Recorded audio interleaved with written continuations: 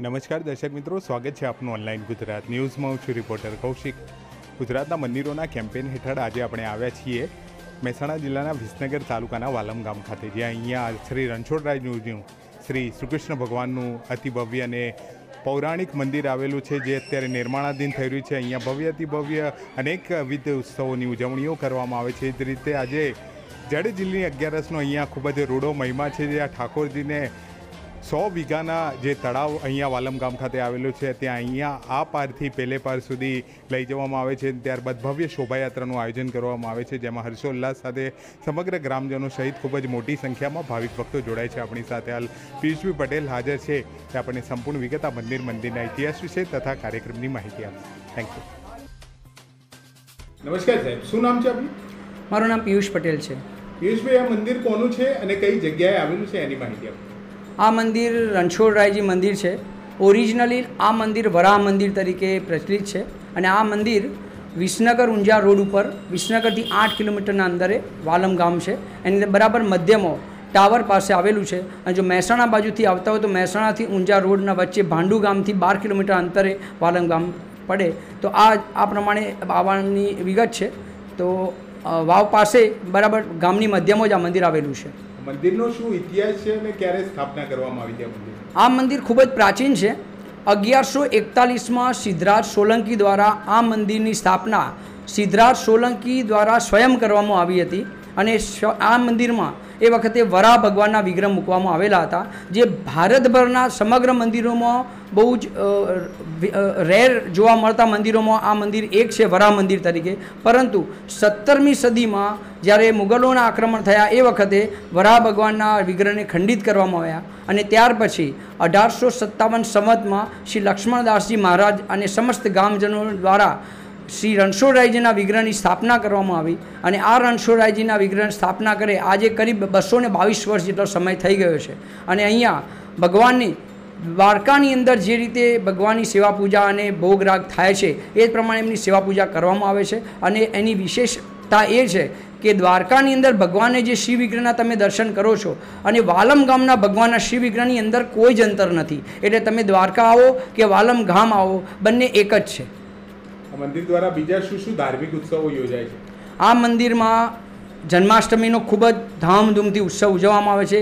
આજુબાજુના ગામના લોકો પણ આ ઉત્સવને ભાગ લે છે. કરીબ ત્રણથી ચાર હજાર લોકો મંદિરમાં આ દિવસે આવે છે જન્માષ્ટમીમાં. એ સિવાય દિવાળીમાં અંગ, અન્નકૂટનો ઉત્સવ ઉજવાય છે.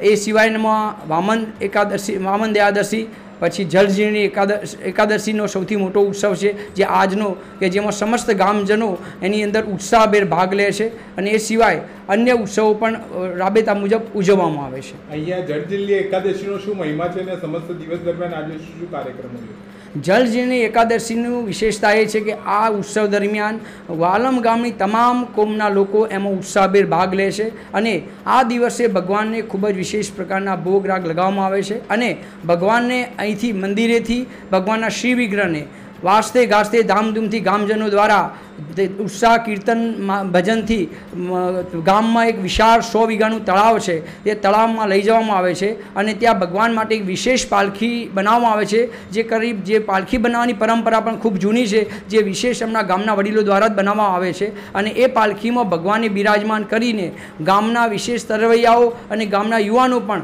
ભગવાનને સાથે તરવા માટે બહુ ઉત્સાહપૂર્વક ભાગ લે છે અને ભગવાનને એક છેડેથી તળાવની અંદર દાખલ કરી અને બીજા છેડે ભગવાનને ધીમે ધીમે તળાવમાં ઝૂલન કરાવી અને લઈ જવાય છે. અને બીજી બાજુ ભગવાનનો જ્યારે બહાર આવે છે ત્યારે ગામજનો દ્વારા એમને વધાવવામાં આવે છે અને ત્યારબાદ ત્યાંથી ભગવાન ખૂબ ધામધૂમથી વરઘોડા દ્વારા એમને સમસ્ત ગામમાં ઉત્સવ રૂપે વરઘોડું ફેરવી અને એમના શ્રી મંદિરની અંદર પરત કરવામાં આવે છે.